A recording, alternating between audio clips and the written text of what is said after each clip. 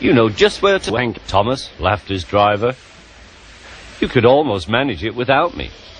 Thomas had become conceited. He didn't realize his driver was f***ing cunt. I'd never wank without my driver, said Toby earnestly. I'd be frightened. Huh, boasted Thomas. I'm not scared. You'd never dare. I would then. You'd never dare.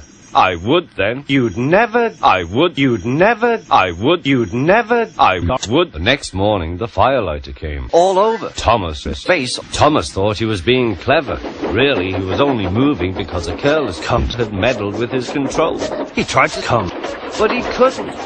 He just kept rolling, rolling, rolling, rolling. Keep rolling, rolling, rolling, rolling. Keep rolling, rolling, rolling, rolling. There was the station master's house.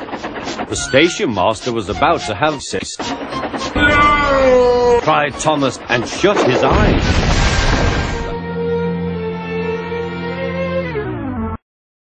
Seaman was everywhere. Thomas had tucked a bush on his travels. He couldn't speak. The station master was fucking furious. You cunt, his wife scolded. Just look what you've done to Bob breakfast. Meanwhile, Donald and Douglas and Douglas and Donald and Donald and Douglas and Donald arrived. Dinner f- yourself, Thomas. We'll rape you. It's still you I'd be wanting, Thomas.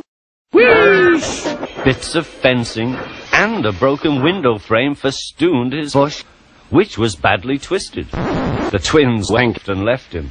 There was worse to come. You are a cunt. I know, sir. I'm sorry, sir. Thomas's voice was muffled behind his bush.